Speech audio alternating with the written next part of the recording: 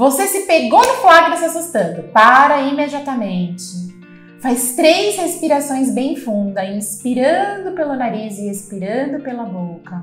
Fecha os olhos, traz uma imagem de algo que te traz paz. Pode ser uma imagem da natureza, pode ser um pôr do sol, nascer do sol, um sorriso de uma criança, qualquer imagem que você sinta no seu coração que te traz paz. Então, respirou, trouxe a imagem que te traz paz, e aí você vai afirmar assim, ó: eu escolho agora deixar ir embora todo o medo dentro de mim.